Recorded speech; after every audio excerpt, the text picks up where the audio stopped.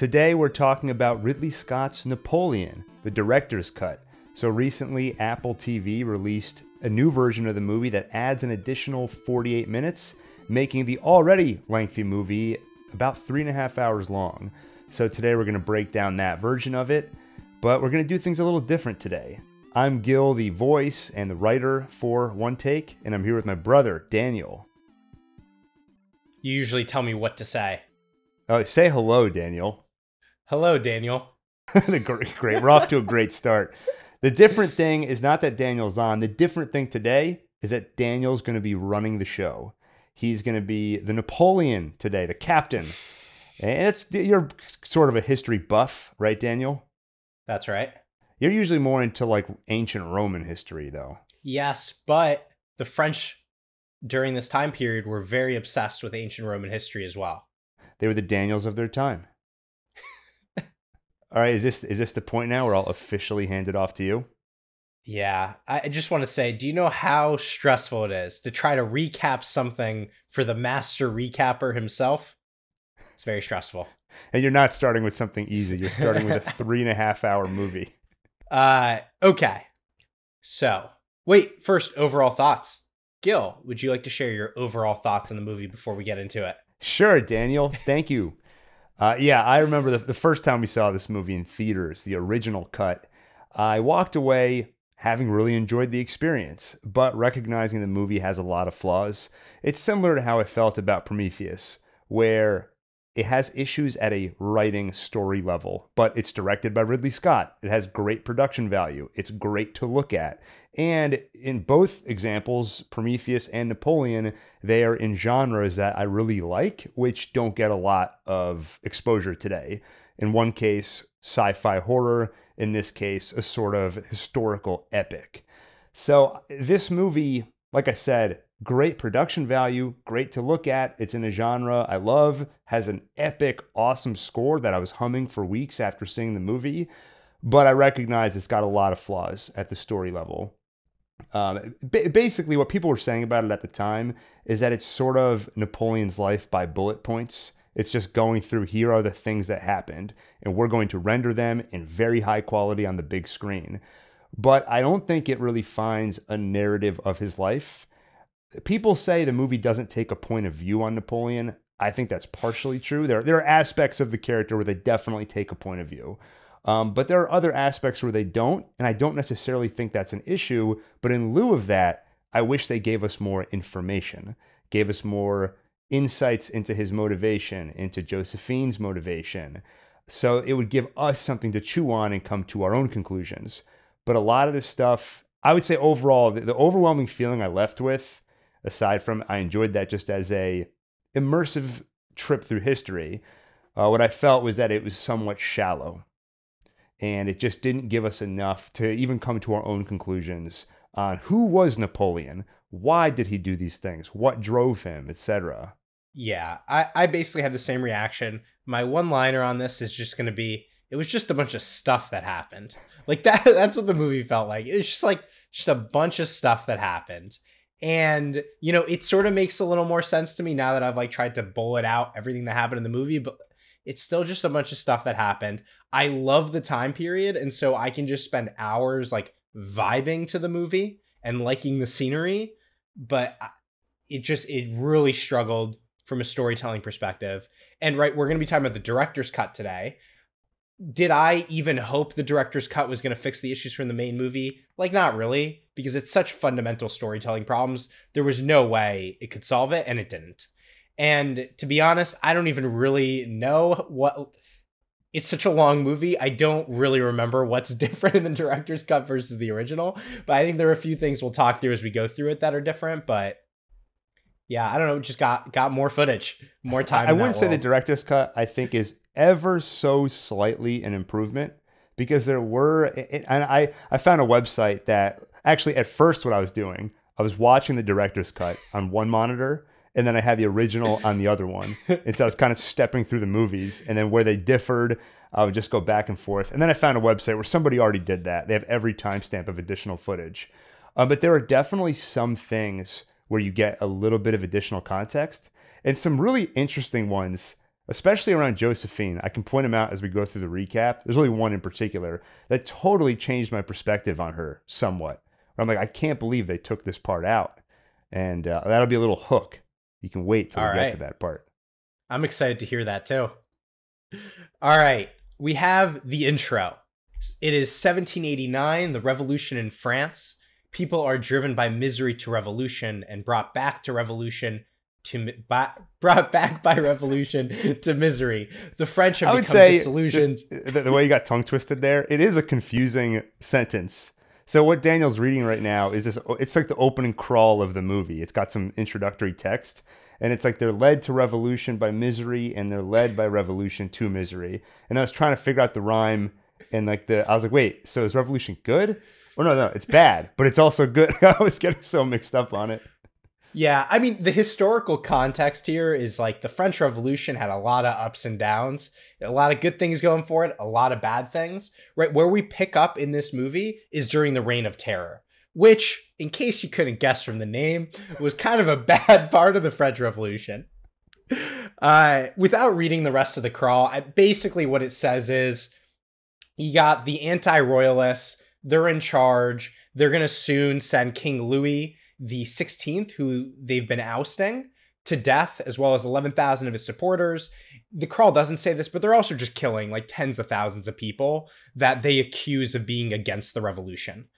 Uh, and they're about to go and kill the Queen of France, Marie Antoinette. At the same time, an ambitious Corsican gunnery officer named Napoleon Bonaparte seeks a promotion. We then have some happy French music playing as Marie Antoinette is captured and decapitated by guillotine. Uh, and then the camera turns to Napoleon and we see the title card Napoleon. Yeah, how did you read the look on Napoleon's face? Because basically, starting with the movie's point of view on the revolution, like you said, it's starting at the point where things have taken a dark turn. It's one of those things where I'm like, ah, I heard Daniel said something about um, bad about the revolution. Next day, you'd be under the guillotine. And actually, by the way, what's our official stance? Are we going guillotine or guillotine? Oh, uh, they say guillotine in the movie, but I am too used to saying guillotine. And so, you know what? I'm not going to commit either way. I'm going to say guillotine when I remember. I'm going to say guillotine when I feel like it. I'm going to go guillotine for obvious reasons. It's got my name in it. I like that. Uh, but you, you, if, if you think about um, when this movie picks up, right? You, you badmouth someone, you're like, oh, I hear they said something bad about the revolution, and it's like that would be enough to get them under the guillotine the next day. In this crowd, they're all cheering as Marie Antoinette or Marie Antoinette, Mary or Marie, Marie, I'm pretty Marie. sure. I don't want to turn this into how do you pronounce each thing as we go. So That'd be the last time I ask. But it definitely puts you on the side against the revolutionaries Uh, because all you have is the opening text that tells you about some of the stuff that drove them to this. But visually, all you see is a woman having rotten vegetables tossed at her and then executed. And you're with her the entire time. So I think just viscerally, it's impossible not to feel, wow, she is surrounded by savages. And I think that's partly to put you in Napoleon's point of view, because my read on his face was a little bit of ambivalence. He's kind of unamused. And I'm not sure. Is he is he disgusted by what he's seeing? Like he's above all this? Or does he just not care? So, I mean, that's something we we are going to need to talk throughout the movie of Napoleon's relation to violence. But you know, historically, Napoleon was initial, at least initially, pretty far onto the Jacobin side. So he actually did some public writing in support of them. The Jacobins are sort of the, the farthest left radicals led by Robespierre, who will eventually run this whole reign of terror. Now, at some point during that, Napoleon goes away from them. And, and that's now that's the extent of my knowledge, right? How sympathetic he was to this sort of violence, I'm not sure. The stance on the movie, I sort of took his reaction as ambivalence. Like he's sorry, not ambivalence, indifferent. I actually felt he thinks he's above the crowd, but I don't think he cares that somebody's getting decapitated. And I think the the crawl tries to indicate that to us because it's about all this horrible stuff that's happening. Starvation, murders, and then you just have an ambitious Corsican gunnery seeking a promotion, right? Like there's all this going on. He wants to get promoted. It, it might have just been because we literally just talked about Joker. and It's the same actor. But Yeah. it's it's like it's sort of both characters, Napoleon and Joker, have the same stance about the angry mob. It's purely opportunity. In Joker's case, it's oh, I always wanted attention. I don't really care about all the politics of it, but now people are paying attention to me. And Napoleon, well, this is a great opportunity for a promotion. And we next move on to Napoleon's promotion. And by the way, this is going to be Napoleon's first meeting in the movie with Paul Barras. I indicate that because we're going to have three uh, scenes like this that are almost identical. So, Napoleon, we see Napoleon walk into the National Convention where Robespierre is justifying the execution of Marie Antoinette that just happened, and everybody is cheering on. We then have Paul Barras, who is the commissioner of the French army, explaining to Napoleon and his brother, Laris Strong, sorry, Yes. I mean Lucien Bonaparte, uh, that the British Navy has taken the port of Toulon. Forgive all of my French pronunciation. I mean, just say it the way Joaquin Phoenix in the movie, he just says Toulon. Okay. So I was like, I just basically I hear different pronunciations throughout the movie. The one that sounds easiest to say, that's the one I grab. And so the British Navy has taken that port. Half the French Navy is trapped there. This historically is an extremely important port for the French, and they cannot afford to lose, lose those ships. And so Paul Barras assigns Napoleon the task of taking back this fort. So we see a pretty cool night attack on Toulon. So, first of all, Napoleon is writing to his brother Lucien, uh, and he's saying, you know, his motivation here that he doesn't want them to be seen as Corsican ruffians if they fail. And he also references their mother's ambition for them. You know, this is going to be important later on. And also just want to point out historically, Corsica was only recently part of France. And so this is part of Napoleon's character is he is a total outsider and not the kind of person who traditionally would have been able to rise under the old regime within France. But because of this revolution, he does have a chance to rise. This is some of the stuff where I'm confused why it's not in the movie. Yes, we get we get one sentence here that gives you a little bit of insight into his motivation. There's some insecurity around the fact that he's Corsican and would not have been allowed to be promoted until this revolution. Uh, there's a mention of his mother, and I understand she was an important figure in his life. So there's these little seeds that it doesn't give you enough to chew on to think about his motivation. It gives you enough to go on to Google after the movie or go to ChatGPT and be like, "Hey, is there something about Napoleon's mother?" So it gives you like the seeds that I and this is an example where I think more context would have been helpful. So th- these are exactly my complaints about the movie. The the other thing, something I was comparing this to at different points was I was just thinking about Napoleon, this extremely ambitious figure, right? The movie talks all the time about his ambition, right? Let's just compare it to like Hamilton. Hamilton, super ambitious guy, and we see it in the musical, right? Like he is working very hard to rise up. Something I felt was lacking throughout this movie was Not enough musical numbers. Actually, there were some good musical numbers in this movie. That's true. And we'll get to see Joaquin Phoenix sing in about two weeks in Joker uh, too. Yes. So But I don't feel I actually saw an ambitious Napoleon working hard to rise up. I see him rising, but and we'll we'll talk about this throughout the movie, but I felt it they portrayed it as if he's just stumbling into opportunities.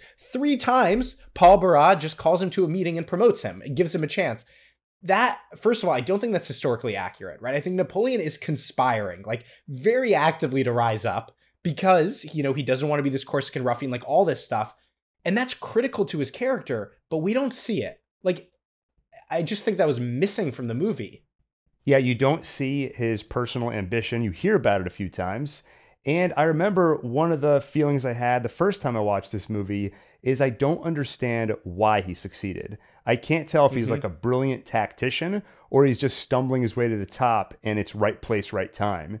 Because we'll get to an example where it's like there's a bunch of revolutionaries, they're rising up. What do we do? And he's like, what if we attack them?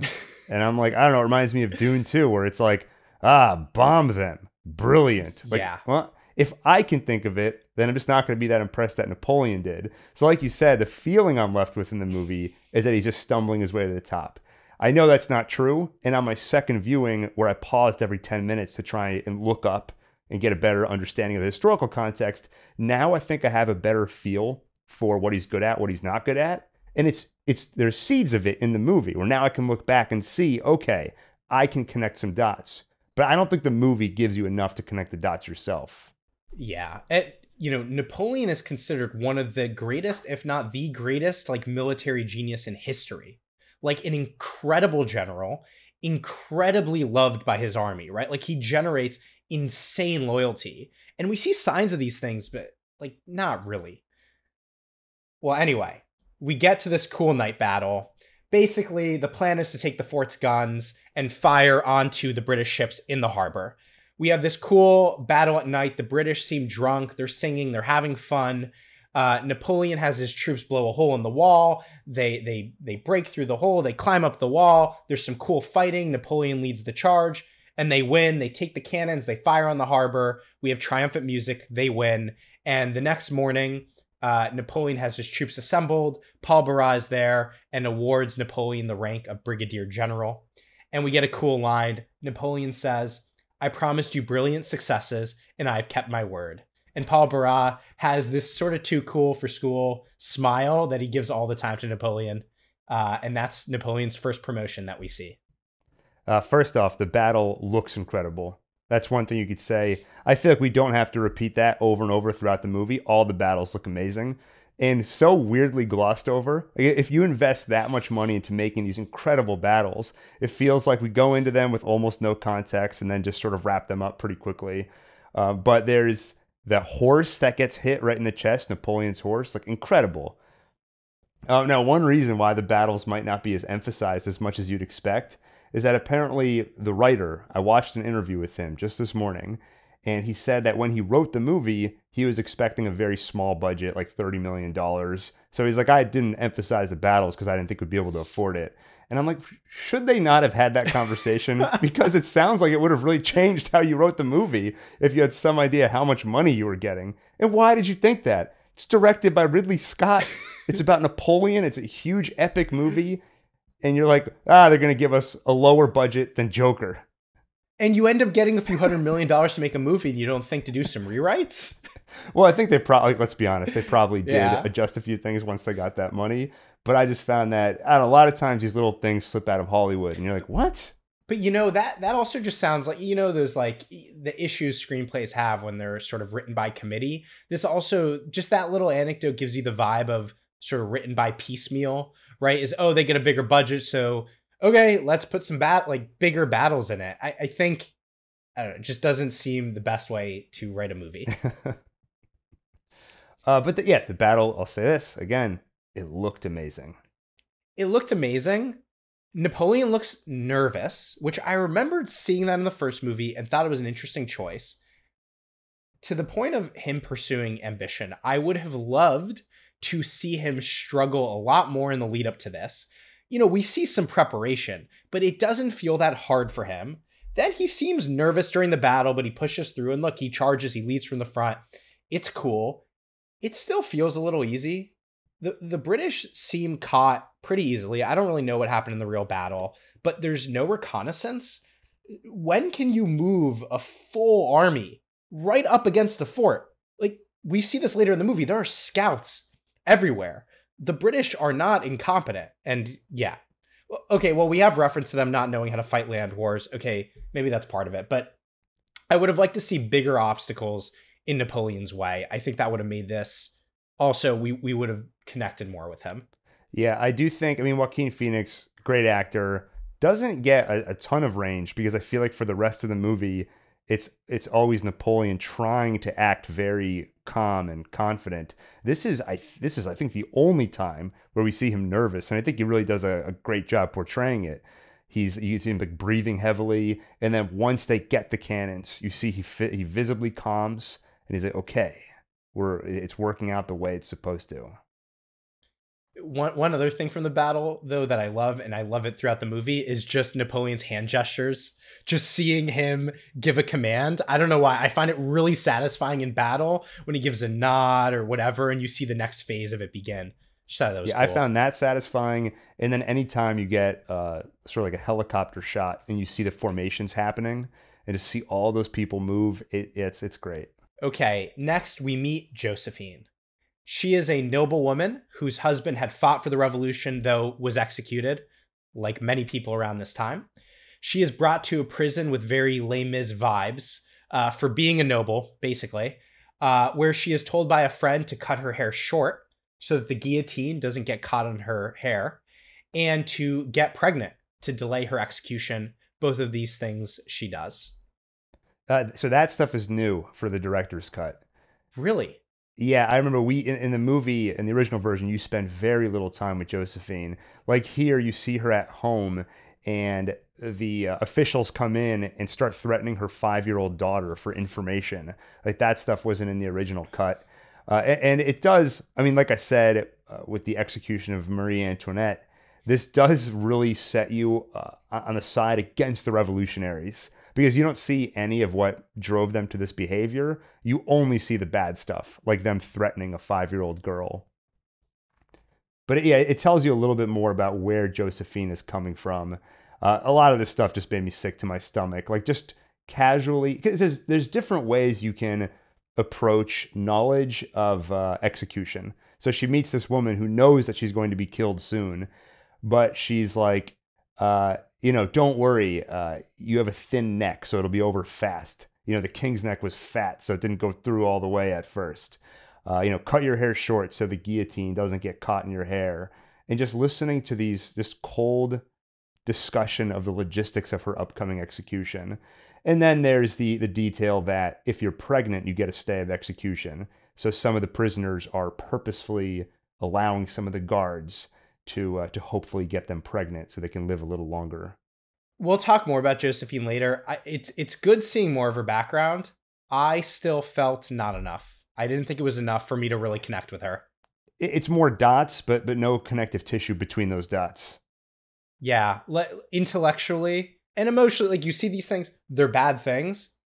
Not enough of a story though for me to feel like I get Josephine and that I'm on her side. Right. It is also like so quick because it's you meet Josephine and it's like, oh my God, she's in prison. 10 minutes later, oh, good, she's out of prison. Yeah. Well, so that brings us to the end of the Reign of Terror. In April 1794, we get our second Paul Barras and Napoleon scene. So, after watching a bunch of nuns get executed, Paul explains to Napoleon that those in power are no longer popular and the guillotine has become a symbol of lawless passion, led by Robespierre. So we then go to the National Convention and we see a ra- that they are rallying against Robespierre, and Paul calls for his arrest. Violence erupts. Robespierre tries to escape. He gets caught. He points a gun at them all, but it fails to fire. So he pulls up his backup gun and tries to kill himself. Is it bad to say those words on YouTube? Just don't say the S word. Okay. Unless you uh, say, he- unless you add the word squad after, then it's okay. but he accidentally shoots himself in the mouth instead and survives. True story. That's true, yeah. Right? And it's the guillotine for him. And by the way, this will be known as the Thermidorian reaction, which ended the reign of terror and installed the French Directory into power. Uh, one of the members being Paul Barras. So there's uh there is some stuff here that wasn't in the original cut that makes for a nice kind of parallel. So the scene you mentioned of all the nuns getting executed again, you really don't have a warm feeling for these revolutionaries at all. Apparently, so in, in, in real life, they rejected, you know, the official religion at the time. So much so they even got rid of the calendar and tried to make their own, where instead of weeks, you'd have these 10 day cycles. Every month is exactly 30 days long.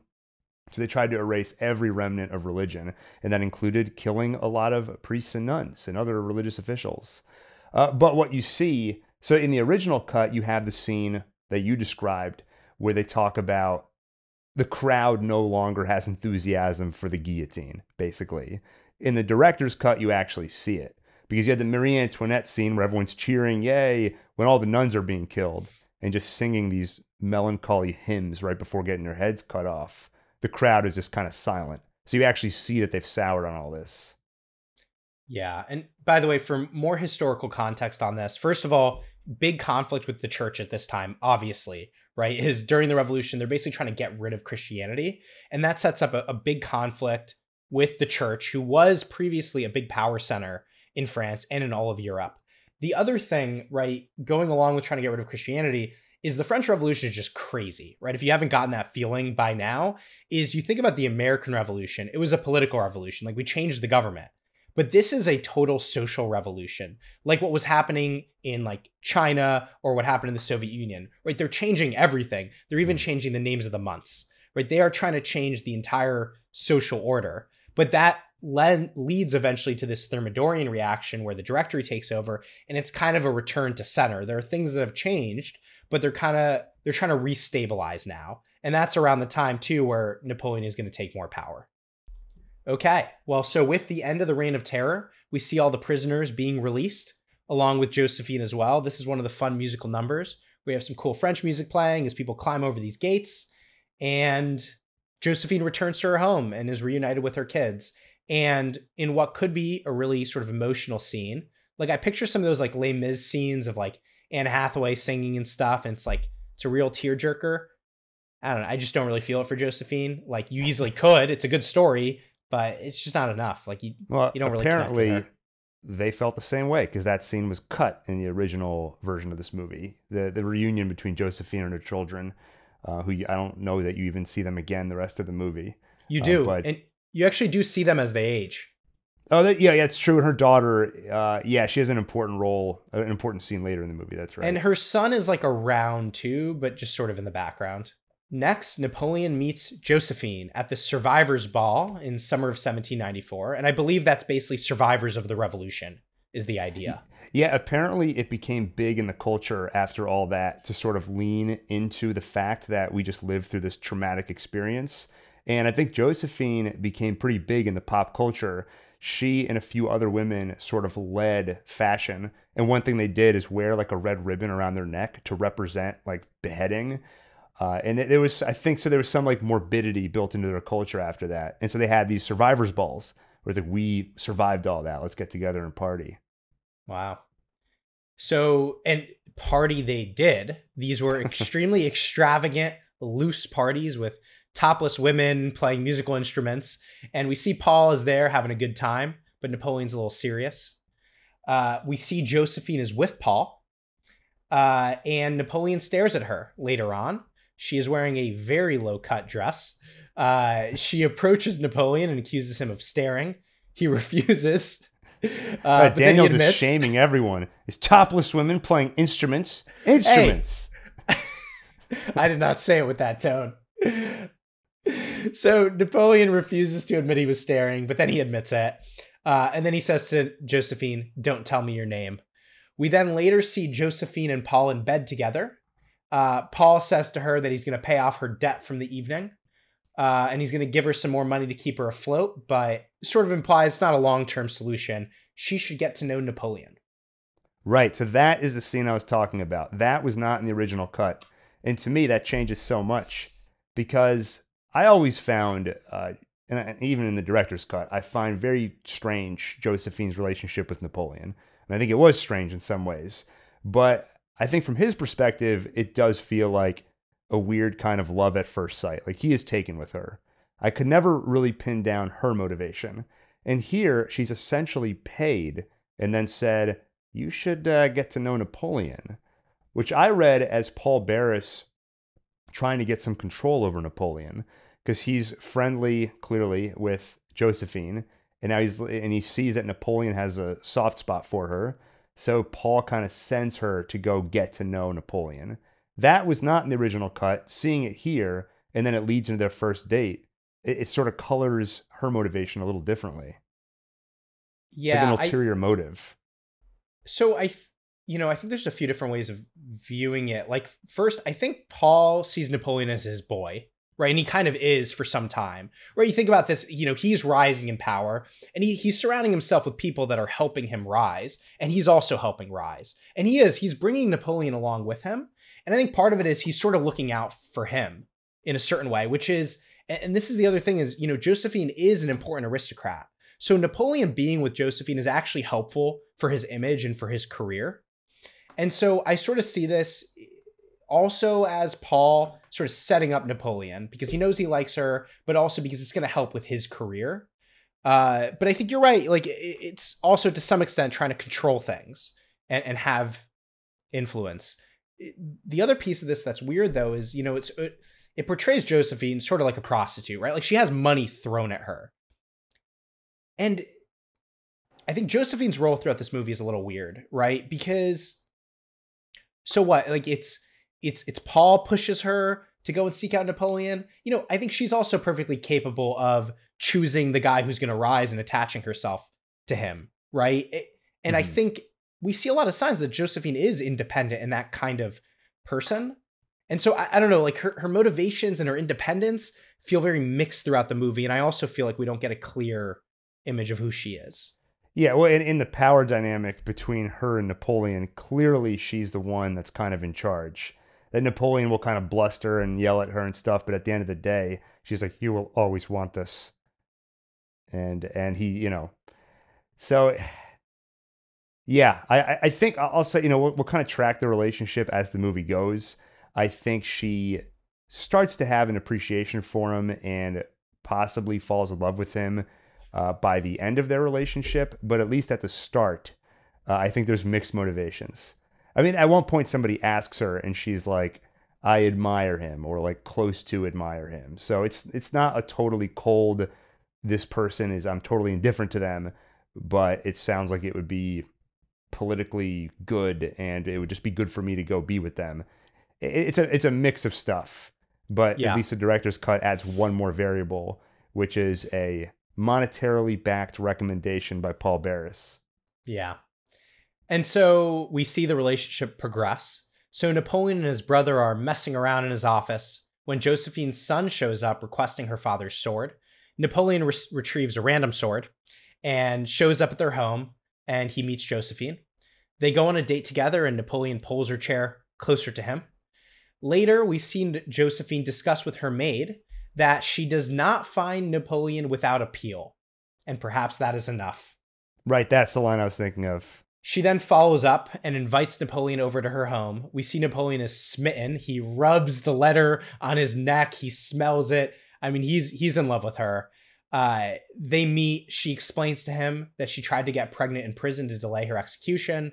He says it doesn't bother him. And then, as classical music plays, she pulls up her dress and shows him, you know, her her personal area, and says that once he sees it, you know, he'll never want to leave or something like that. Right. you will always want to see it again, or yeah, something like that. Oh yeah, that so that additional, not to keep harping on it, but that additional scene with Paul Barras saying you should get to know Napoleon that also painted this in a different light because in the original viewing, I thought that her son genuinely wanted that sword back. And now I'm like, she probably asked him to go up to Napoleon and say, I want my father's sword. But really, she wanted his sword. Napoleon's, you know what I'm saying? Uh, and she also she also kind of knows how to get to Napoleon. She specifically has her son say, "My mother told me that you're the only man of authority who would be able to retrieve this sword. And she already knows Napoleon wants his ego stoked. Yeah, she is so perceptive. She figured out that Napoleon has a large ego. I guess hindsight's twenty twenty. It's easy for me to say that now.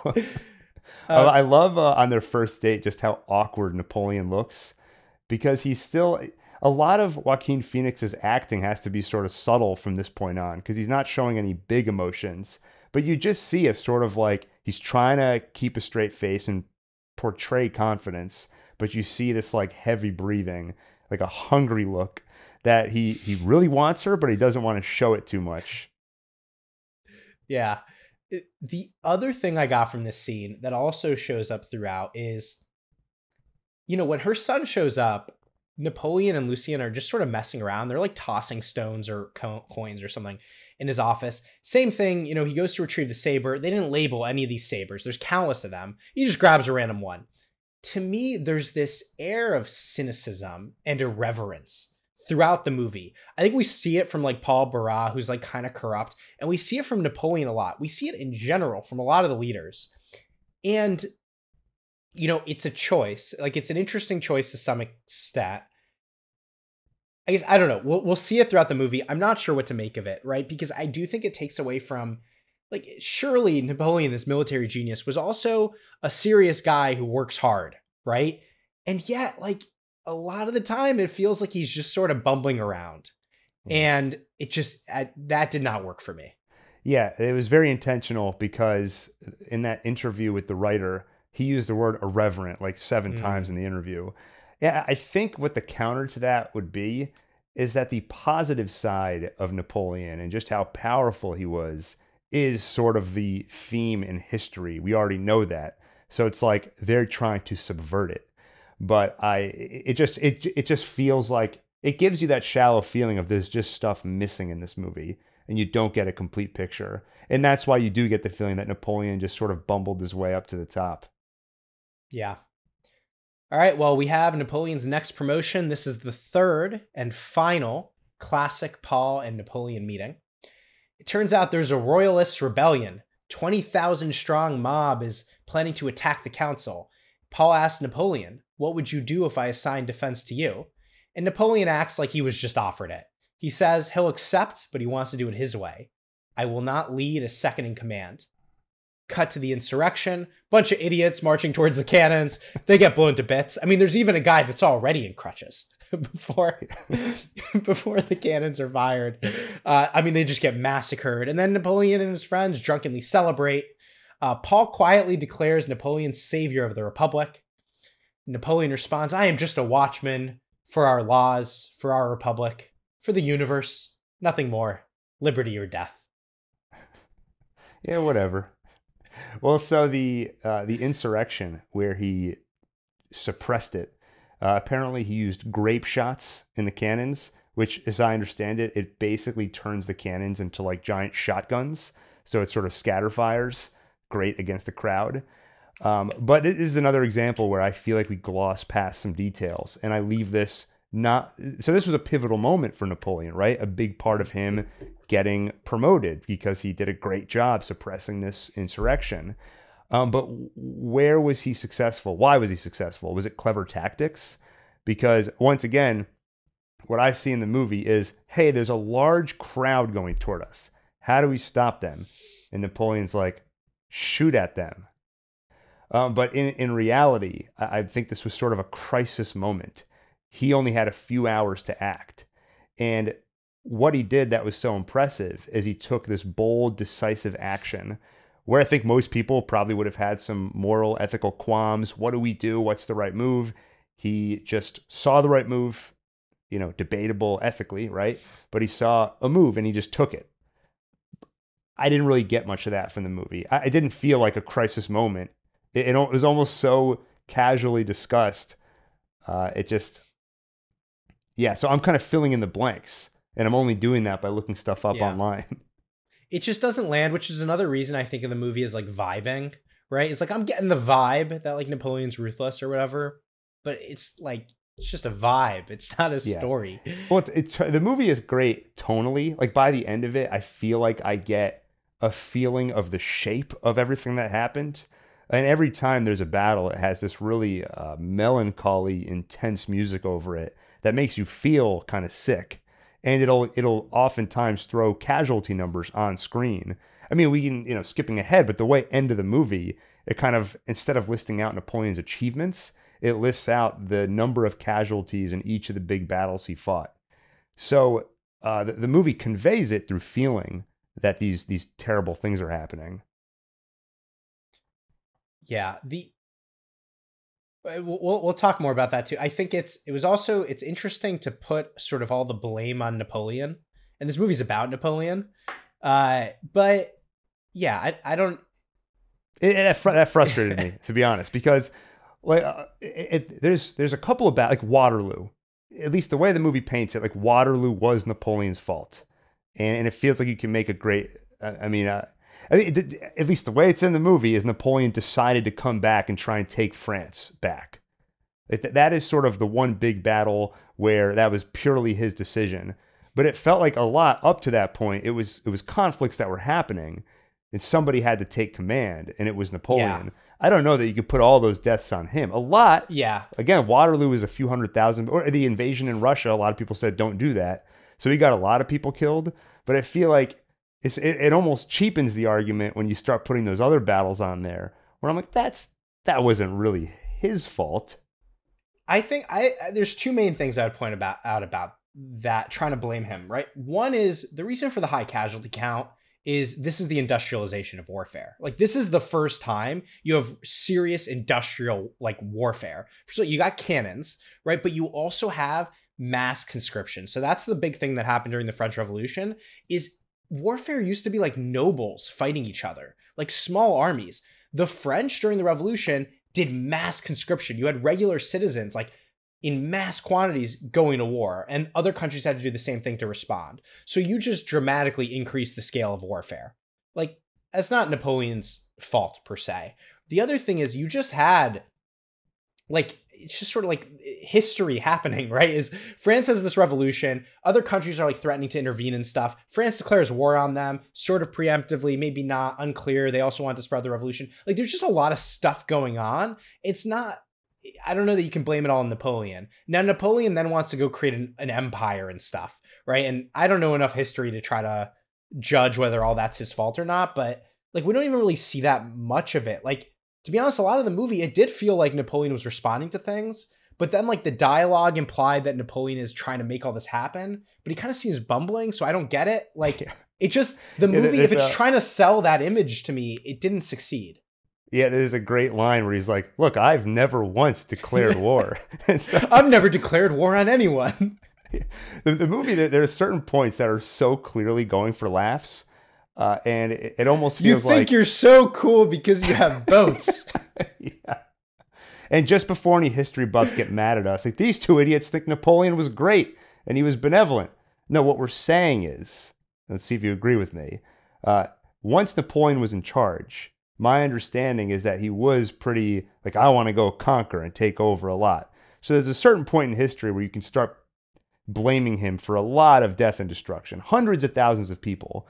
But if you're listing out a bunch of stuff and saying it's his fault, and you include stuff before that, where it was more like here's a conflict, there's going to be a battle, we need to put somebody in charge. When you include that as well, it sort of undercuts your argument. That's what we're mm. saying.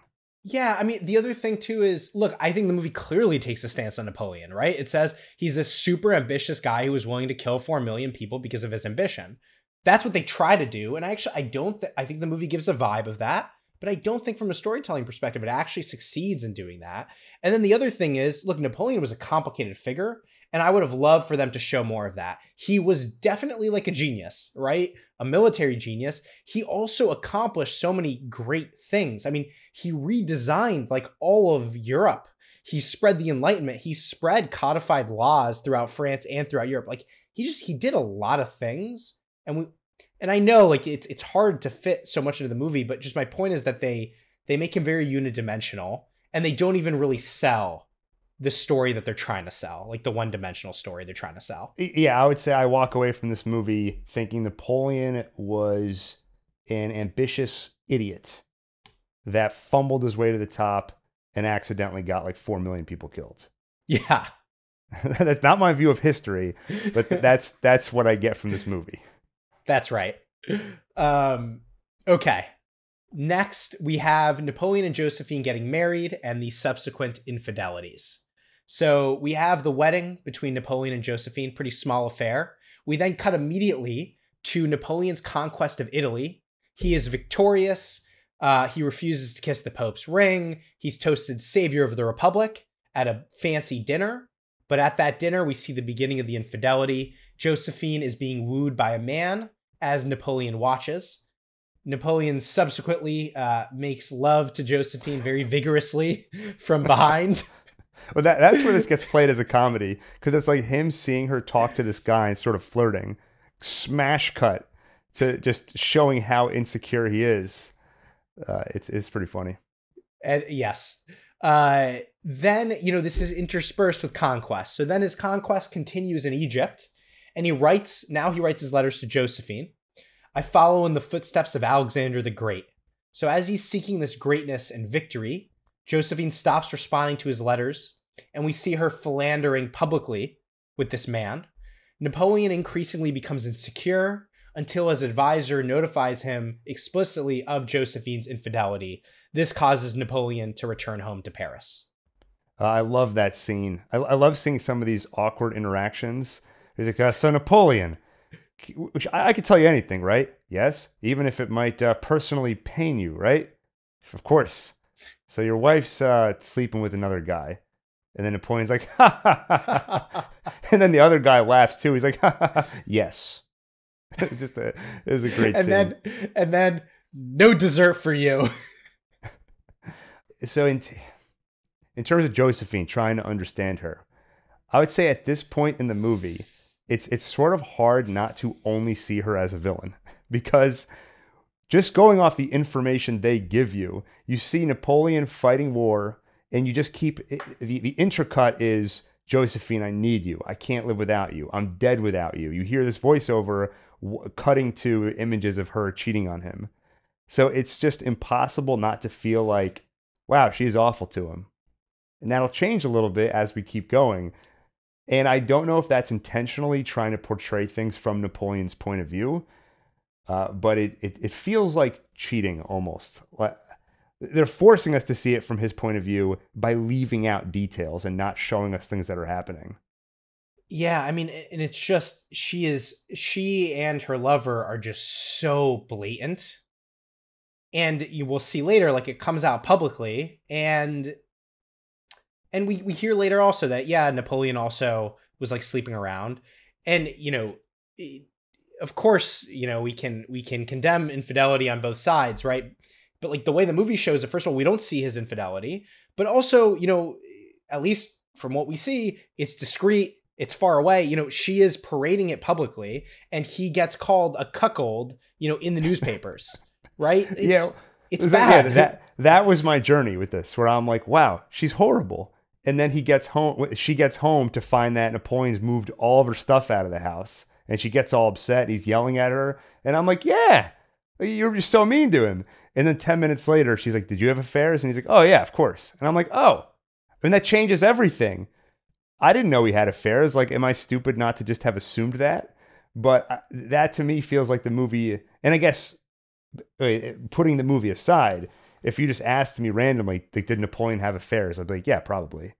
But in the movie, you don't see it, and you only see her doing it.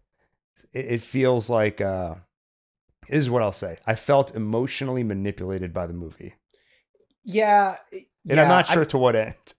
I, I want to better understand the movie's point of view on this, but let's continue with this and we'll pick it back up. So Napoleon returns home, and it turns out Josephine's infidelities are in the newspaper.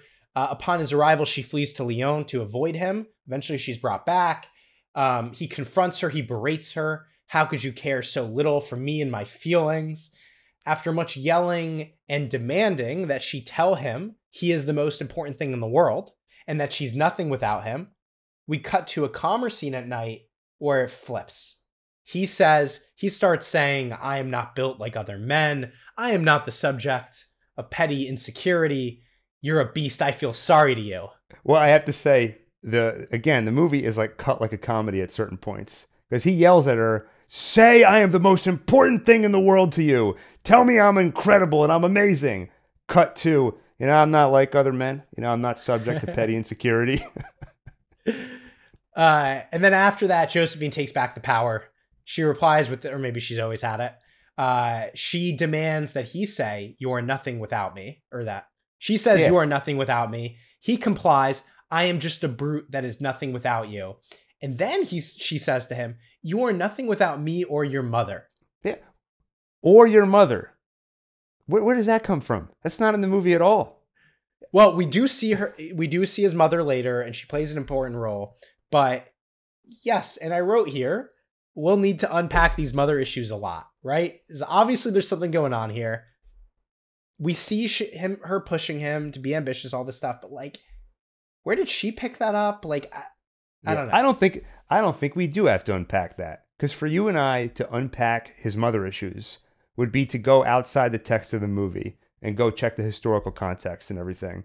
But it's not in this movie. Like she's there. She shows up here and there, and there's this line. but there's, there's this is a great example of just the lack of digging into the substance in this movie. Yeah.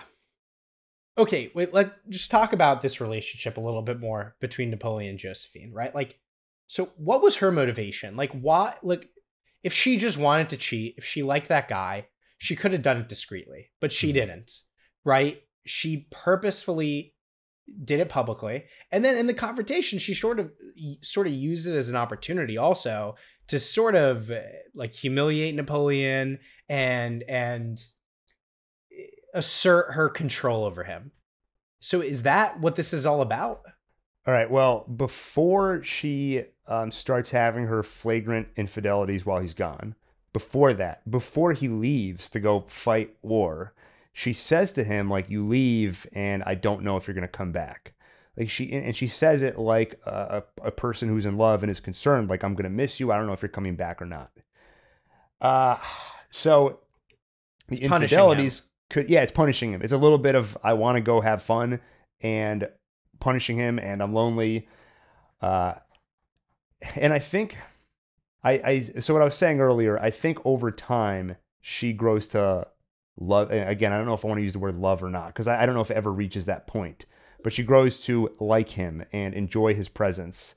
Uh, but I think tragically, when that's at its greatest point, is when they have to get divorced because he needs an heir, which we'll get to later. But but I think that's the journey she's on here. Yeah, just kind of. I don't think.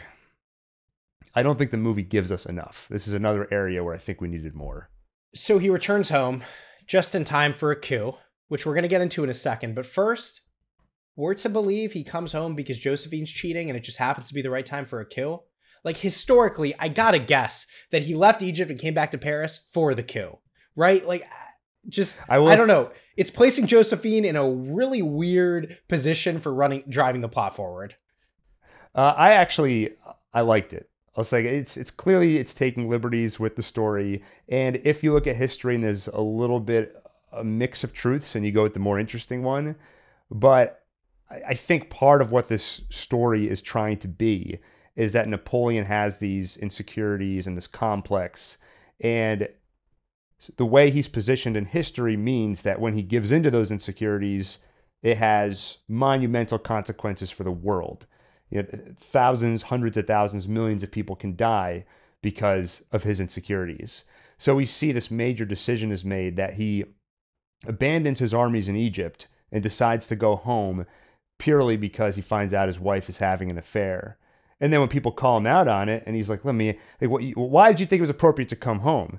And he's like, "Let me ask you a question. Why did you think it was appropriate to let France come to ruin while I'm gone? That's why I came back."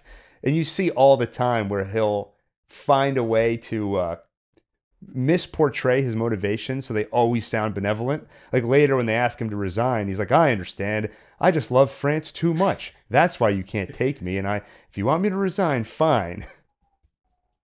Uh, so as you said, when he meets with the directory, they accuse him of desertion. And he gives that reply. He accuses them of failing to lead France. Uh, he says the government is on the verge of bankruptcy and foreign invaders are on their footsteps. And on top of all that, I found out my wife is a slut. Yeah. His words, he says. I'm quoting, I'm quoting. Uh, a few of those leaders are amused, including Paul Barras and another man. That other man shows up to speak with Napoleon later on, and he says to him, The only thing the French people can agree on is that you are our Caesar. There's some ancient Rome stuff there for you. Uh, he proposes a coup to displace the directory with him, this other guy, and Napoleon. And they all conspire and they develop this plan. I loved the coup, although I have some complaints about it, but it was fun. So basically, all the directors, uh, guards show up at their homes and force them to resign. We get a lot of fun scenes. One guy just keeps yelling, I haven't had my breakfast. Uh, Paul Barras is cool. He's just like, I resign happily to, you know, noble, like ha- happy citizen or whatever. Yeah, that's how I would have been. Because I can I can read the way the wind is going. Like, look, do I want to fight this or do I want to just retire and have a good life? Uh, Yeah. Again, like I, the the movie plays so much for laughs, and uh, I mean that I'm finishing my breakfast guy, and then when they drag him off, and this lady's just like ah ah, like waving her arms, screaming. I don't know why this is meant to be funny, but but it is. I enjoy it. Well, it's this again, it's this choice to be irreverent. And it's like, you know, this is a coup. Kind of a big deal, but they make it irreverent. They make the subsequent parts irreverent as well. So, with the directors resigned, They call the assembly far outside Paris to ins- install a new one under the guise also of there being like a royalist conspiracy. So they have to do this outside of Paris. Like it's a, an emergency. The crowd is in an uproar, sensing a coup, and Napoleon provokes them. He rushes out. Uh, and he like provokes them to violence. They start kind of like trying to grab him, whatever. But he runs out. He's hitting them. He runs out screaming that they they're trying to assassinate him. Unclear if they were trying to assassinate him. They're trying to kill me. Yeah. Uh, hysterical scene, right? Him running, bumbling around, falling. Uh, his brother's bumbling around with him. They're doing some improvisation too, where his brother pulls a sword on Napoleon. All this stuff. They persuade the guards to, you know, rush in. Uh, the representatives are all at gunpoint, and Napoleon says, "Shall we vote now?" And Yeah. the the coup is concluded uh, with Napoleon installed as first consul. Uh, and then next, Napoleon and Josephine celebrate their new status and go to bed within the palace. Yeah, and so he, he's first consul now, which is an extremely powerful position, right? Yeah, you know, there's two other consuls too, but he's he's like the first man in in France, and very soon he will be emperor as well, and you know, fully consolidate his authority. Yeah, so happy ending. Got what he wanted. The end. Uh, so now we move into the time period of the consulate.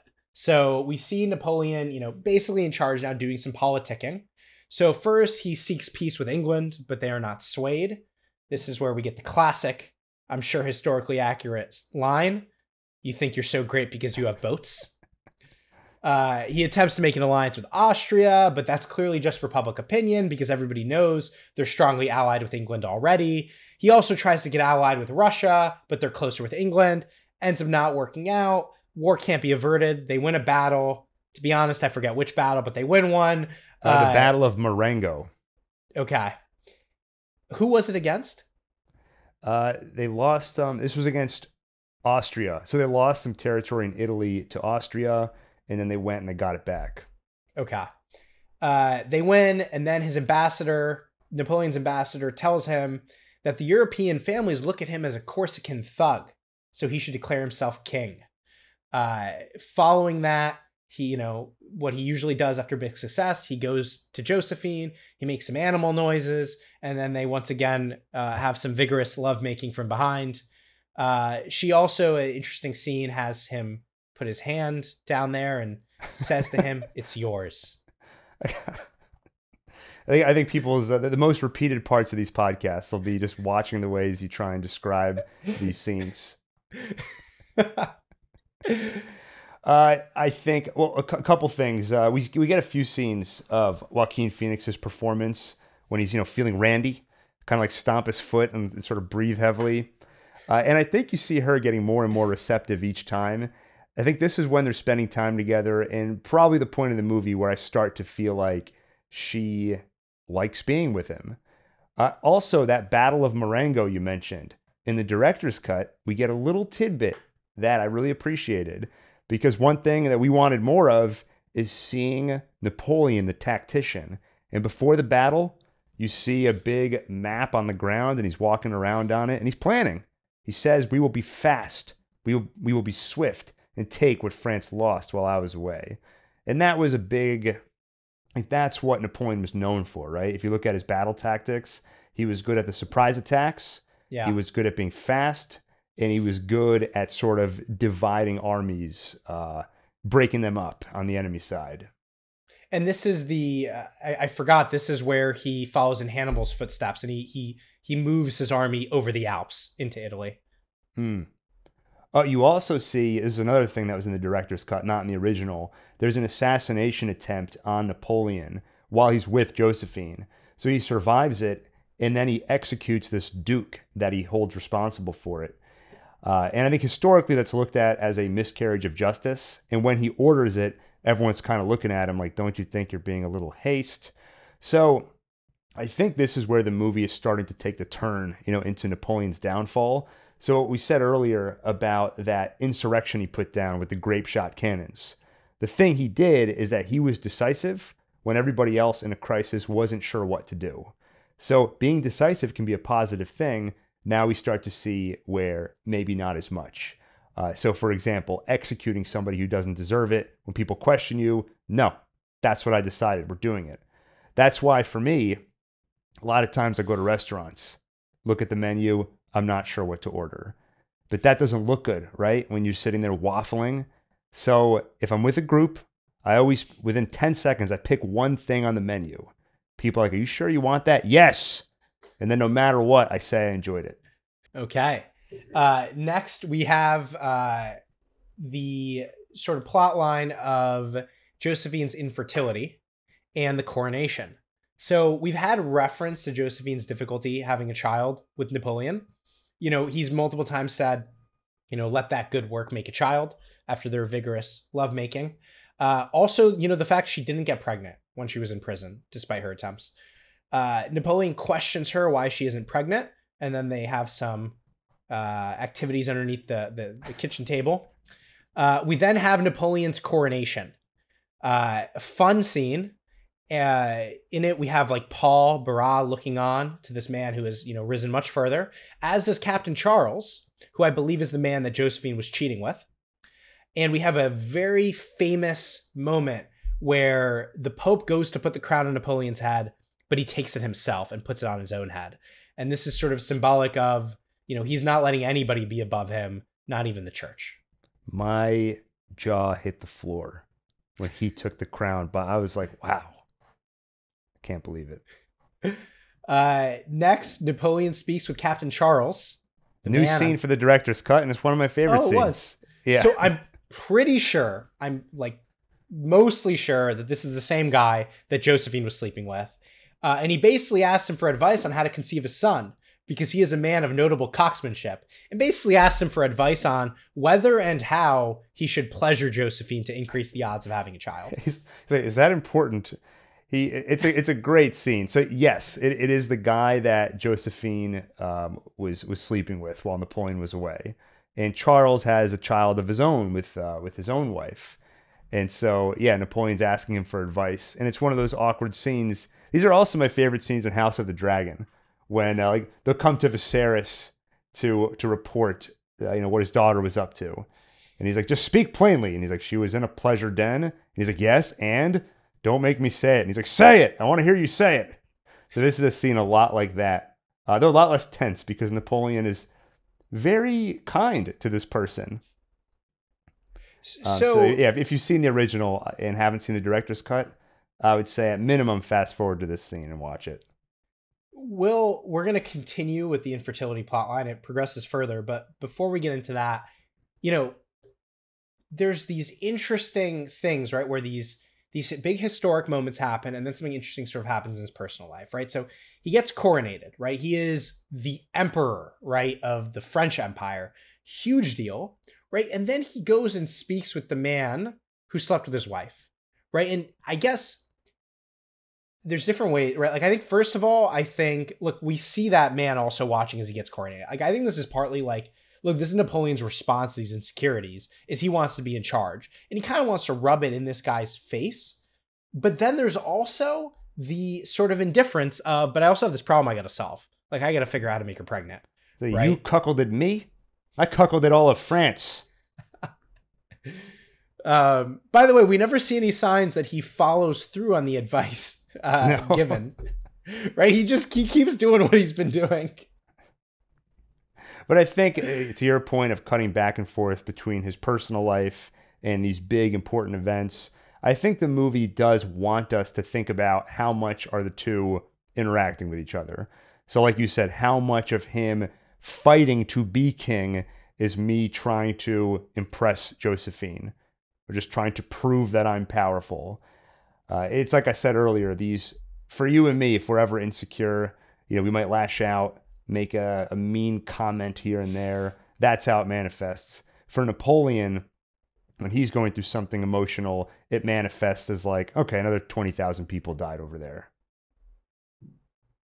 Hey, speak for yourself. Yeah, if you saw the pile of bodies, that's what we'll have that at the end of this podcast. It'll just come up with a list of Daniel, 50,000, 75,000. Uh, so, given their trouble having a child, uh, Napoleon's advisor suggests a divorce, uh, which Napoleon, you know, kind of fights against. He's not willing to do it yet. Uh, you know, but the point is made, right? The security of the empire and peace in the world depend on him having an heir. At dinner that night, Napoleon demands that Josephine bear a child that night, or there will be a divorce. Uh, we have a great scene where, you know, he says she's empty, she says he's fat. He goes, I enjoy my meals. Destiny has brought me here. Destiny has brought me this lamb chop. uh, and then he later sort of makes up with her in bed. Right. Yeah, that's what I say at the doctor. It's like, you know, cholesterol's a little high. Like, ah, destiny again. Ugh. Again, the irreverence, right? Of you know, Napoleon sometimes speaks of destiny seriously. This is an example where it's it's not. Uh, and Josephine kind of laughs at the destiny thing in other conversations too. Okay, we have the Battle of Austerlitz.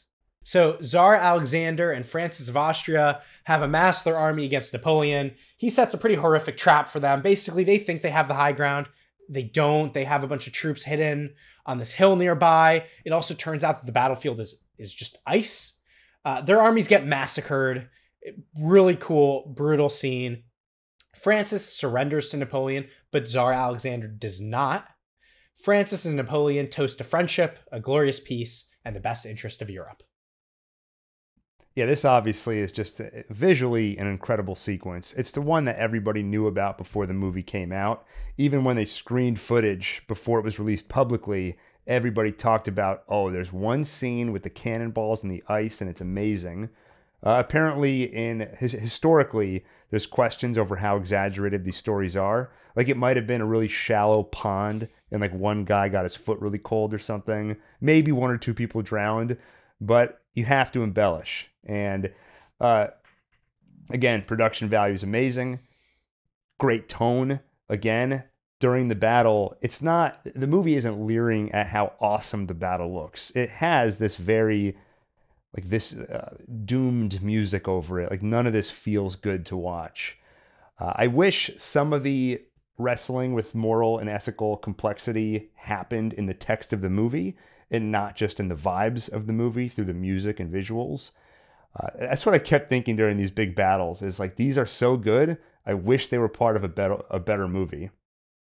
And like I wish even just watching the battle, I wish I better understood within the context of the movie the importance of this battle in the broader conflict. A lot of that just gets glossed over. Uh, and again, because I think that's not what the movie's interested in, but I still think to some degree it's important. Yeah, I completely agree with everything. The other thing is, it still just feels a little too easy for Napoleon. Like, I don't know. It, it felt easy for him to set that trap. I, I would have liked to just, you know, like in Better Call Saul, like they show all the details of every plan. I would have liked to see a little more work put into pulling this off. Yeah. Again, it's like if I can think of it, then it's just not impressive. Unless I'm yeah, like a brilliant like, tactician. Like, you know, like high I, troops on the high ground? and artillery there too. Fire at them from from above. I mean, you know, there's, there's cannons over there. I was just thinking, like, if you guys like, if we point them at the bad guys, and these big like metal balls hit them, like, really, that's what they're for. You're a genius, right. Napoleon. We move on to the divorce. But your ambition is too much, and that will be your downfall we see Napoleon and Josephine having a fun time together at a dance and then in private. But then Napoleon's mother sets up an experiment where he is to see if he can father a child with another woman, an 18 year old brunette with brown eyes. And it turns out he's successful. Uh, so the you know the conclusion is it's Josephine's fault. Josephine questions Napoleon when he is going to divorce him, and this sort of parallels uh, his story, I guess, with war because he kind of acts like it's Josephine's fault. He says, "Oh, if you insist." You know, it's like he's not the one who's trying to do it, but you know, she asks. Now he tries to prevent it. He goes to the doctor and tries to get him to go along with a lie that the bastard child will be Josephine's, but he refuses. And that's kind of it. He then moves forward with the divorce. Uh, he says it's because his destiny is stronger than his will. Uh, this is at the ceremony. She sort of falters in repeating these lines. He slaps her and she goes on. Uh, and you know, she says for the good of the empire, but she's still going to be friends with Napoleon. Uh, and and they're divorced, and she she moves into a new home, and, and Napoleon visits her. Yeah, I think uh, she does not want to get divorced. I think that's why she's hesitating when they are reading out the decree of why this is all happening. Uh, so that's like what I was saying earlier. I, I, think there's some tragedy here of they're growing closer to each other, and then maybe when they're at their closest is when they have to get divorced. There's really no way around it, considering his position as uh, he's the emperor at this point, right? Yep. Yeah, I also think I appreciated the detail that when they're going through the experiment of Napoleon has to bed this other woman to see if he can get her pregnant, he's very resistant to the task. Like he has to drink a lot to, and then, and then when he gets in, he turns off the lights. Like he genuinely doesn't want to do it. Uh, so this, I think, uh, from both of their perspectives, Josephine and Napoleon, when their love is at its most genuine, is when they have to break apart. But also, I think Napoleon he he doesn't really you don't really see him agonize over the divorce very much. Right? There's the one scene with the doctor. He tries to see if there's a way around it. It seems like once there isn't a way around it, that's it. We do it. And I think that's his decisiveness. The same one you see on the battlefield, you see it in his life. If there's no other options, I'm going to do what I have to do. I'm going to try and not portray that it bothers me. And I think it only slips out when she's hesitating and he's like, I'm putting up with this. I'm putting on a brave face. You need to do the same. So you see, again, the decisiveness has its positive qualities and then it has these negative qualities where it explodes out of him in this uh, violent moment against his against his now ex-wife. So next we have a fun scene between Napoleon and Tsar Alexander. They're kind of like broing out together. They're like charming each other. And Tsar Alexander says, you know, he wishes he could call Napoleon brother. And, you know, Napoleon is trying to cement a French and Russian alliance against the British. And first of all, just a line I love where Napoleon's like, I just had a thought. No, sh- should I tell you? You know, that classic where you're like pretending to withhold. Uh, he paints a vision for Tsar Alexander of a grand army of the, the the French and the Russians and the Austrians and the Prussians, like this huge army marching on England, like in the east, and bringing Great Britain to heel. That and a continental blockade, blockade, like all this exciting stuff. And Napoleon wants to cement this through a marriage to Tsar Alexander's sister, but she's already betrothed to somebody. And then his younger sister is 15. He says it's details. details. Tsar Alexander seems unpersuaded. You know, basically, this alliance ultimately is not going to happen. And what happens is instead, Napoleon marries marries uh, the Austria, Francis's eldest daughter, who's pretty young, uh, and has a son with her.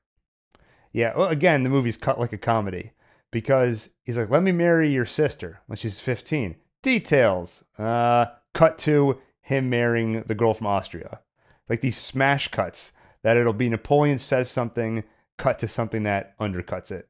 Or that didn't work out. All right, so he marries the other one. And the other thing that happens is he brings the first of all, when he holds the son for the first time, he cries and he says to him, "My little king." Uh, and then he shows the baby to Josephine, uh, and she says to him, "One day you will understand what I have sacrificed for you." Yeah, uh, like I feel it. I feel it because of the music and everything but I feel like the movie just didn't show me her. I, I don't feel like I've been on a journey with her or really any of these characters. So yeah. like I feel like I I don't walk away from the movie totally cold to it because I, I felt emotions, but it's like very broad emotions that kind of slowly grow with the movie, you know, up and down. But there aren't any moments where I'm like, oh, there's no like gut punch moments. Like this should have been a gut punch moment. Yeah. So coming up, the invasion of Russia. So Napoleon says, you know, they they refuse to ally with me. I I have, now have no choice but to invade Russia. And in fact, sorry, Russia allies with the British mainly because they're dependent on the timber trade with Britain. That's what makes Russia great. Uh, and so Russia picks their side, and Napoleon invades. He assembles the. Fa- I think this is where it's like the famous Grand Army, which is it's a, it's a massive army of the French, the Austrians, I think the Prussians, you know, it's, it's many of Germany, their kingdoms. It's France, Austria, Italy, Germany, and Poland. Huge army. They invade Russia. He says, I see nothing but success in my future. but they fall victim to guerrilla tactics and scorched warfare where the Russians, you know, they're burning farms and ranches, like everything on their path to Moscow. And so we see their soldiers starving and they're freezing, they're really suffering. And when they finally take Moscow, we get the famous line. I don't know if it's famous, but the line from the movie that I really liked. He yells, you know, where are you? 300,000 souls live in this city, and they've all just left.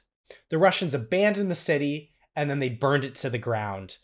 Napoleon is left there with a starving, cold army without any resources. He refuses to go back. They had a chance to go back to Poland to wait out the winter, but he refuses. They march onward. His soldiers suffer, and he eventually flees them and goes back to Paris, abandoning his destroyed army. And he is subsequently forced into exile for his extreme failure. Yeah, I love, uh, again, tonally, the, it all works great because you have I see only success in my future. You hear these things that Napoleon is saying, trying to portray to Josephine, at least at first, things are going great. Like during one of their early battles in the invasion of Russia, he says, you know, he talks about having won a great victory, and then it pops up on screen French losses, 28,000. So you see it was somewhat of a Pyrrhic victory. Huh? Good, good Roman reference. That's basically when you win a battle, quote unquote, but you had such great losses, it wasn't really a win. Uh, and then again, just the the music that plays over the battles and Napoleon rushing into the empty city. Uh, and then another one of these great lines where he tries to twist the situation to sound like, no, I'm in the right here, you know? Because he's sitting there in this empty throne room in Moscow. Says, it's not very sporting, is it? You know, for his honor in Russia, it's not mine. There's dignity to be had in defeat. Like, they should have been here so I could have beat them. Uh, and so, my view on Napoleon at this point in the movie, trying to understand in terms of his ability what it's saying, uh, my takeaway is that he's a brilliant tactician. You point him at a battlefield, he'll go and win that battle, but you have to pick the battle. Once it's up to him where to go and what to do, that's when things start to fall apart because clearly at this point they missed their window, right? Because winter's coming in. Winter is coming. If we keep marching into Russia, we're all going to die. And that ends up being true. But he chooses to march on anyway. So a horrible strategic decision. Uh, it would have been cool to have more context because I'm not sure. I mean, obviously, that's a point where he went wrong. Going into Russia to begin with, did they have to do that? Or was that also part of his hubris? Uh, so that's where I think I could have used more uh, of just some decision making. Why are we going into, into, Russia? What's the importance of it? What happens if we don't go? Um, but but overall, this this sequence worked at least tonally. Yeah, I mean, there and there was there was a lot of really cool stuff here. First of all, th- there's a scene. This is when Napoleon abandons his army, where a bunch of the soldiers, you know, they push their way into a barn during this horrible storm and a lot of soldiers are left outside during they're fighting for space in there and then a fire breaks out and they all burn alive trapped in this barn. Yeah that also was only in the director's cut. So in the original cut you actually spend very little time in the russian winter. It's kind of like we shouldn't go it's the winter. Cut to well everyone died and it just sort of gets explained. You get to the scene where the council is talking to Napoleon, like we sent you with 400,000 people, you came back with like 20,000. Uh, so I think this is one area where I think the director's cut's a definite improvement. You see some of the horrors. Uh, there's also a scene where, as Napoleon is on his way out, deserting the troops to come back home, he stops at one of the previous battlefields and he gets out, he looks around, and he sees all the dead bodies. So you feel a lot more of the cost of going into Russia more than just somebody telling you, here's how many people died. A few other things I love from this sequence. Uh, while his soldiers are starving and freezing, he declares to them, We are winning.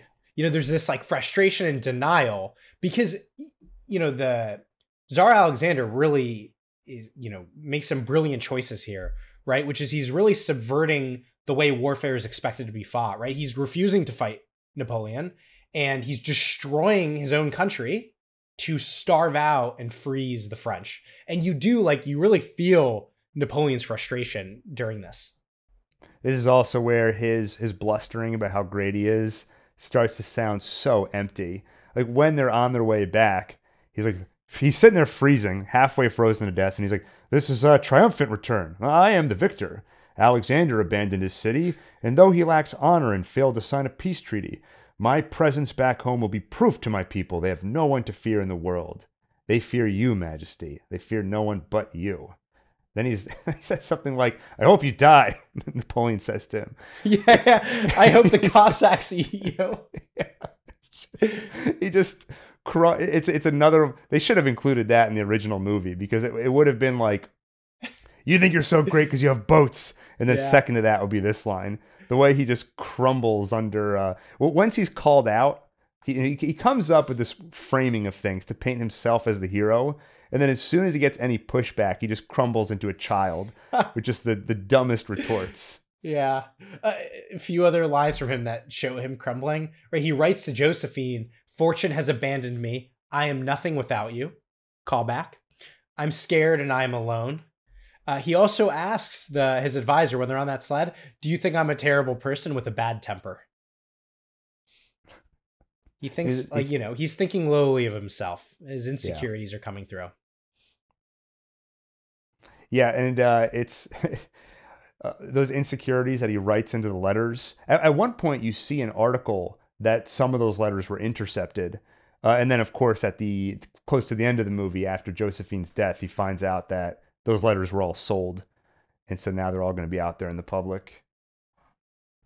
Uh, just another thing about this sequence before we move on is you know this is extremely famous napoleon's invasion of russia. First of all uh, tolstoy's war and peace is set during this invasion obviously from the from the russian perspective. And you know this is also this becomes a sort of like archetypal story is always fear the russian winter right like don't invade russia because this similar things will happen uh, when Hitler invades Russia as well, right? Like that brings about his downfall.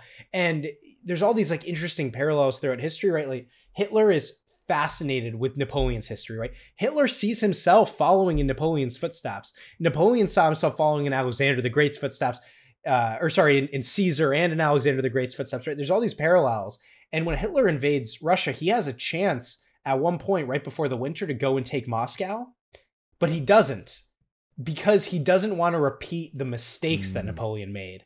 But there, there's a there's a good case to be made that historians have made, which is that you know the Moscow of the Soviet Union was very different from the Moscow of of sort of of Russia from this day. That Moscow was sort of the nerve center of the Soviet Union. It was centralized. That if he had taken Moscow, the Soviet Union might have fallen.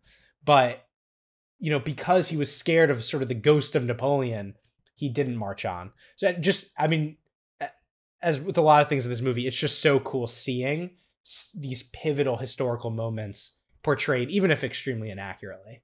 Well, that's how I'd sum up the movie. it's it's so cool seeing this stuff, and I, I feel like we've been pretty negative on it, just because if we were positive on it, it would just be us repeating ourselves over and over. Yeah. Which is I love history, and so just seeing it rendered in such high quality and getting to immerse yourself in it for three and a half hours, it is fun. It's enjoyable if you're into that, but it just is lacking on the uh, fundamental story level.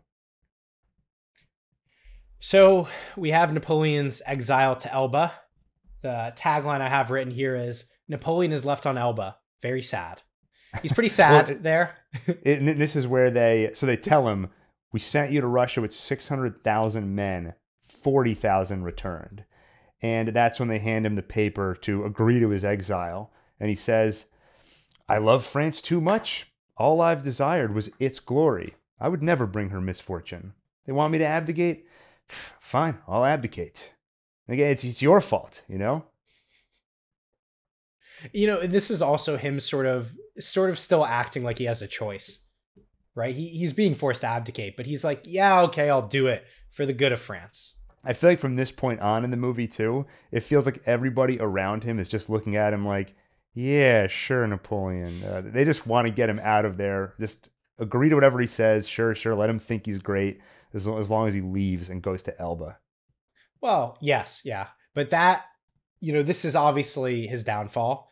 Uh, but there will be, you know, some some changes throughout. So he's on his exile in Elba. While he's there, all sad there with his mom. Um, Tsar Alexander pays Josephine a public visit, and we even see it in the news. Boney's old bird caught out of the nest once again. Napoleon is extremely upset about this, and his mom says to him, you know, he doesn't like she doesn't like seeing him all gloomy, and she says, "You are not meant to die on this island, my son." And after 300 days, he has soldiers come pick him up, and he returns to France. And I'll, I'll continue on with with his return, but any reactions thus far? Yeah, well, he doesn't exactly get picked up by soldiers, right? He like steps onto a boat and says, "Hey, I'm taking over this boat. So You don't resist me, it won't be a problem."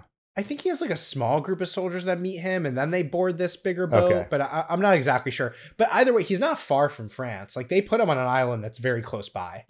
Yeah, and when, when he gets back, we see he's welcomed back by a lot of people. So he has uh, people that are loyal to him. Uh, the scene of his mother telling him, You are not meant to die on this island, uh, not in the original cut of the movie.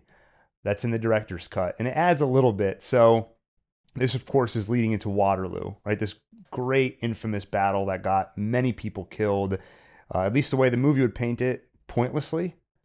Uh, a lot of these people did not have to die, and I think it comes out to like 300,000 people. Uh, and, and the argument this movie seems to be making is that his motivation for doing so was twofold. One, it's his mother sort of reminding him of the ambition. You're not meant to die here, you're meant for greater things. So he's looking for something greater. And two, the Russian czar taunting him by going to visit his ex wife. Uh, so now you have, you can add into the mix of things that are causing these massive waves on a global scale. Now, one of them is the czar, the czar being petty. I'm going to go stick my thumb in Napoleon's eye by visiting his wife and getting that publicized. Napoleon's insecure, so he wants to go home and see her again. On top of that, his mother reminds him of this, I guess, ambition she possibly planted in him as a child. So it's all these little personal things that lead to something major and terrible. Yeah, and so he returns to France. He kisses the sand on the shore. He gathers more men as he marches towards Paris. He's confronted by the Fifth Army, who are there to stop him, but he ends up speaking to them. I thought really cool scene, and they just end up joining his side. That Uh, was a King- place I would have loved to see more because up to this point in the movie, I never really got a feel for how people viewed Napoleon, and it did surprise me. It's you, you don't. It's surprising that he would have so many people that are willing to be loyal to him and go fight under him after such a horrible time in Russia. When you hear this guy got, I mean, what's that percentage wise? Like over 80% of his army killed, and now you're going to sign up to fight with him again to take over France when you have no hope of achieving that. Um, it, it's it's surprising, and it would have been less surprising if before this point in the movie we saw that people had like a reverence for him, and of course they would go fight for him again. Yeah, I mean, in general, this is we're not we're not seeing any of his skills, right? He has a kind of decent speech to these soldiers, but it's not really. Sorry, it's actually not even much of a speech, right? It's just riding on his reputation. He says, "Do you guys remember me?" Right, and they do, and we like we just don't see the way he's built all this loyalty with his soldiers, which you know he was very famous for, but we don't we don't see it. So they march towards Paris. King Louis XVIII is just a big slob. Uh, you know, just a classic sort of weak king guy. Uh, he's told that he's told Napoleon's marching on Paris, and he goes more about the food he's eating. Uh, he this, is like a part two to that. Like I'm eating breakfast. exactly. Uh, so Napoleon's back in charge, uh, but he does discover that Napoleon was sick, or sorry, that Josephine was sick and died prior to his arrival. He says to Josephine's daughter, "Do you blame me? I don't blame you. Of He course says you don't blame me. It wasn't my Yeah. fault. I'm not to bear the burden of responsibility for the misfortunes of your mother." Yeah, this is that Uh, insecurity of he he needs to make sure that everybody is thinking of him properly, uh, and, and and yeah, everything's in line around him. Yeah. Uh, he also finds out that her valet had stolen the letters that he wrote for her and sold them. I mean, he's obviously he's lost this woman he loved, uh, and you know his vulnerabilities are all out there. uh, with his letters being stolen, and he gets Everyone's into gonna Josephine's know. bed. Everyone's gonna know he was a loser. All right. We move on to the Congress of Vienna, where we meet the Duke of Wellington, who I love, by the way, and I love him throughout the movie and his cool British accent. So he has assembled an army from England, Prussia, and Prussia on the borders of France and Belgium. Now, Napoleon is outnumbered, and so he knows he has to defeat each army separately before they can unite forces at Waterloo. And so he goes to face off Wellington uh, at Waterloo before the Prussian army nears. Now, he's waiting for the rain to stop, but the issue is that the Prussian army is getting closer and closer. And eventually, you know, he's out of time. Okay, fine. He just has to go and fight uh, Wellington's army. Now, fortunately, the rain has stopped. The battle begins, and it's really not going very well for Napoleon. A bunch of missteps. Maybe he would have won if if the Prussians hadn't arrived. Maybe I think it's a little unclear in, in the movie. Uh, but the Prussians arrive, and his soldiers just—I mean, his army gets absolutely crushed, and Napoleon flees. Yeah, the, the way I read it, at least in the movie, is that at best he could have had a bit of a stalemate and sort of fought until Prussia arrived. But it, it very much felt like th- this is the the battle where we get the most detail of what's going on before it actually starts, which I think was necessary. So it builds that tension of you're waiting for Prussia to arrive. Uh, but also seeing all the details of the battle makes it feel very much like there's no shot at success here. And I don't know, the guy that's uh, next to Napoleon, his like second in command, keeps looking at him like, what are we doing here? So you know it's not going to work out. And it's just a difficult scene to watch. Again, seeing all these people die for no reason. Uh, this was the scene I alluded to earlier, too. It's also, I think, the battle where you see the most detail. And when you see the British kind of um, getting into formation as Napoleon's army descends on them, it all just looks really cool. Yeah, and again, I love the Duke of Wellington. He gives this quick speech to some of his soldiers. Now's your time, lads. Now's your time.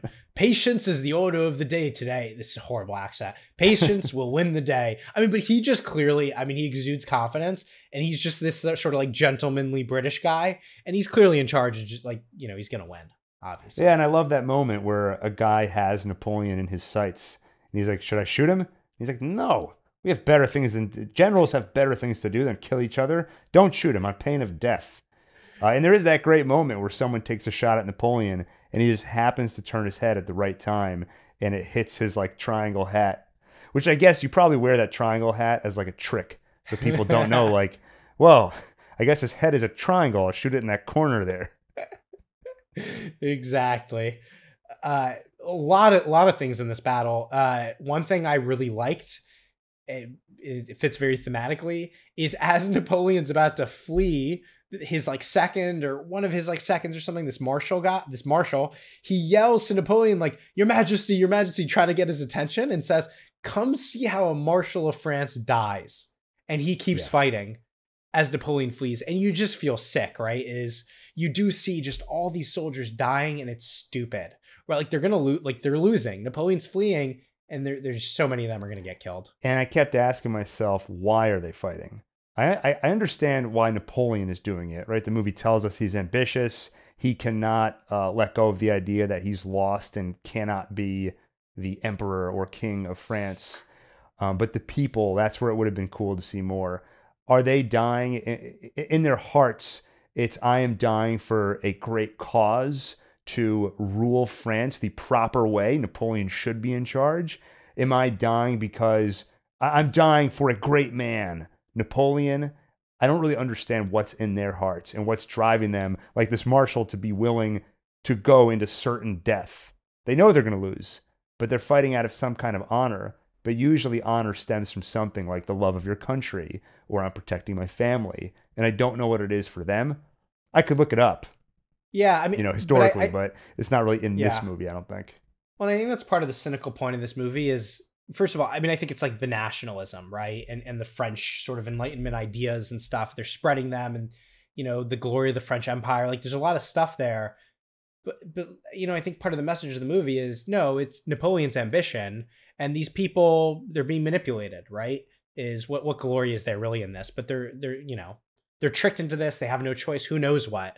But really, it's all just Napoleon's ego, which you know also I think is not a fair telling of history. Right? Is you know there's there's these broad movements that are moving people throughout history, and maybe Napoleon's taking advantage of some of those things. He's also sort of a result of those movements. Um, but you know, I, I, definitely felt that was part of the message, right? The cynicism of Napoleon fleeing and these people fighting to their deaths, you know, for glory or whatever. Right. Be weary of quote unquote great men because you're following their leadership into what you think is greatness, but really they're out for themselves and they might just lead you off a cliff just to make themselves feel better. But man, I mean, it is just crazy. Like when you just try to reflect on things like this of just hundreds of thousands of people being killed in like a in a maneuver between two different leaders. It's just crazy. All right, defeat. So uh, Napoleon is on a British ship. You know he's been captured. Uh, he's got all the midshipmen ar- around him who adore him. By the way, again, we don't really see why that is, right? But I know people were like obsessed with him, but don't really see the charisma and stuff. But he's giving them advice, and he says to them how he's never made a mistake. But unfortunately, he can't get others to aim a cannon the precise way he would. He simply cannot transfer that knowledge. That might be what is most difficult in life, accepting the failures of others. He thinks it reminds me gonna... of uh, reminds me of our dad. but he says specifically, he goes, you know, it's very important to admit when you make a mistake you know, I've never made one. So, uh, but but I would admit it if I did. uh, Napoleon thinks he's gonna get to, uh, you know, enjoy some time in the English countryside, but no, he's never gonna land, step foot on British soil. Probably because, as he guesses, he'd have to get a trial if he went there. Uh, so he is instead being exiled to Saint Helena, which is really more of a rock than an island off the coast of of Africa, but not even close to the coast, like far away, I think. Uh, he says to the Duke, One must also not forget that I am only a man. He says, You forgot it, sir. You thought you were a god. I never said such a thing. Which is exactly what somebody who thought they were a god would say. Because he didn't say, I never never thought that I was a god. No, he says, I never said it. Basically telling you that's what he had in his mind, though. Uh, anything there? Shall we move on to his exile? no, I guess there's one more note on that. Like yeah. the, the, specificity of I never said that. It, it, goes along with this whole theme of always wanting to portray things a certain way, right? Like uh, when he signs the letter of exile and he's like, well, I loved France too much. Like he just draws such a distinction between there's what I have in my mind, and as long as I say the right things, it's okay. And this is just essentially the last example of that before he's uh, left on this rock, Casterly Rock. So we are going to now talk about the final chapter, his exile. So we hear uh, Josephine's words, I guess, in Napoleon's head. She says, Will you come to me? Will I forgive you, my sweet, stubborn emperor? I let you loose and let you come to ruin. Next time I will be emperor, and you will do as I say. Uh, we see Napoleon all sad on this rock. There's a dead fly in his wine. If you remember from the movie, previously he swatted a fly when he was trying to broker his alliance with Tsar Alexander, but now the fly has got him. It's in his wine.